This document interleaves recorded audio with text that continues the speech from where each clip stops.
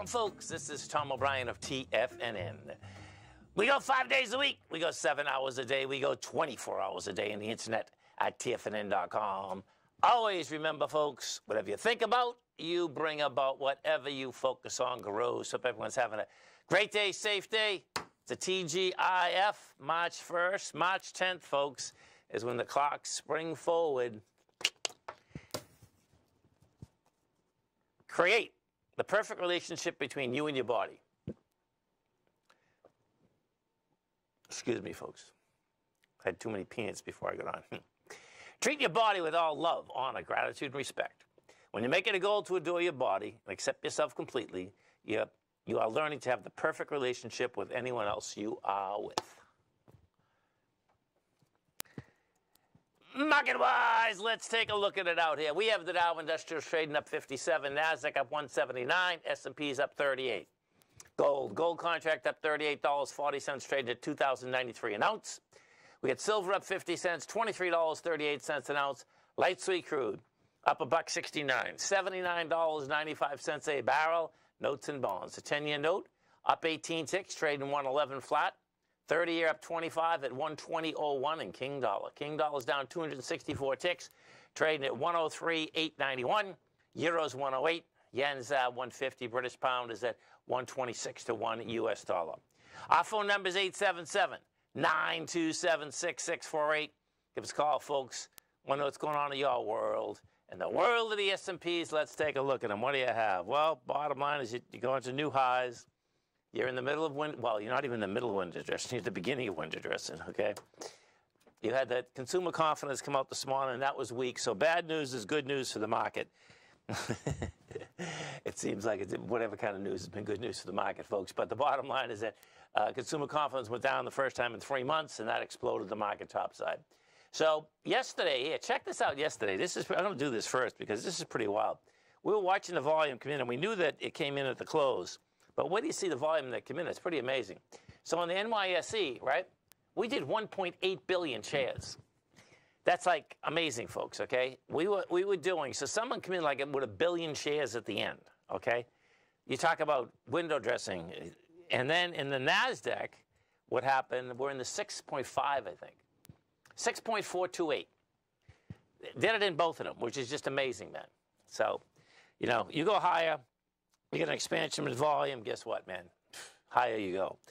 We take a look at the three Qs. What do we have with the three Qs out here? Qs are up uh, seven and a half, six and a half dollars, and they got price spread, man. You know this this is this is this not this is not only broke topside, this broke topside with some juice behind it. So higher we go. We go take a look at the uh, note market, and it's all going. The only thing that hasn't been going with the market yet, and watch you will see it go next week, is the dollar. You know, the note and bond market. This is you know that's the end of that correction. Bottom line is that we got the 10 year up 18 ticks, 2.3 million contracts, and this has wide price spread too. Now this is like this is gonna get interesting. Let me see if I can do this. Yeah, it's close. It has. We need like another day like this to break the downtrend from the top.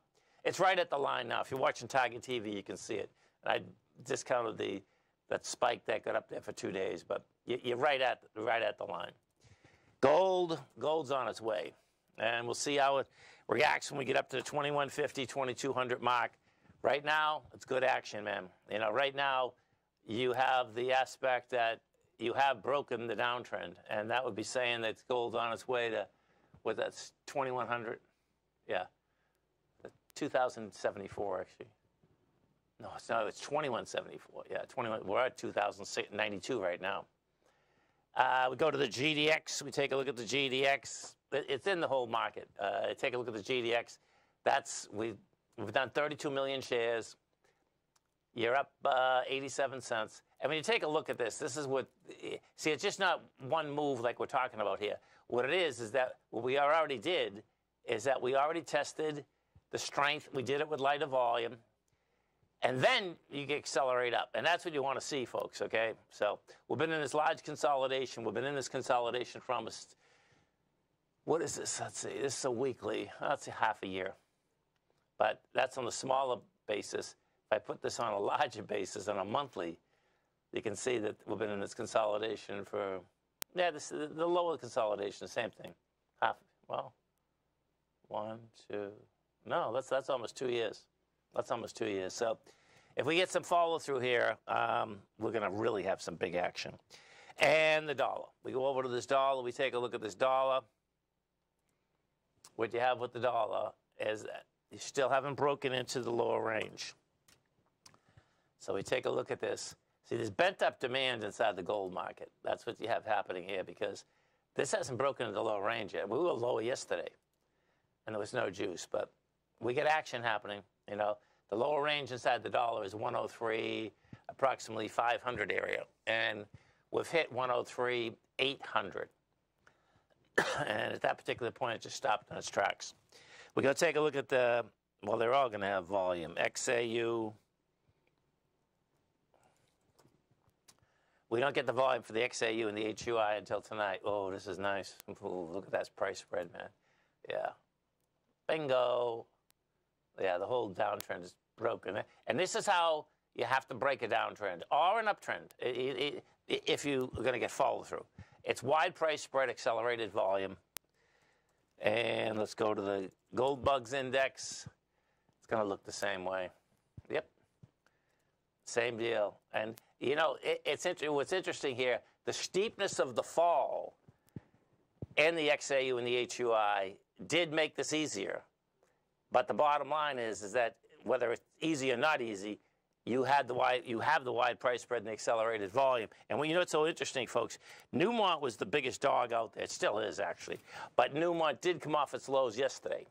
You know, it gapped higher yesterday, and let's go put this back. Let me look at this thing for a second. Put it, I'll put it on a monthly. It was coming down with lighter volume, but man, this thing was getting wrecked. Well, it did get wrecked. Now it was getting wrecked. Yeah, but look at that, man. This is crazy when you see this. Look at what it did. Unreal. I'm telling you, volume is where it's at, folks. It's like sick. You see what I just did there? That line? Look at that volume. Came right into that volume. It's lighter volume. It rejected lower price. And guess what? Now we go higher. Let's have some fun. Dow. Dow Industrials up 57, Nasdaq up 180, S&P's up 39. Stay right there, folks. We'll come right back.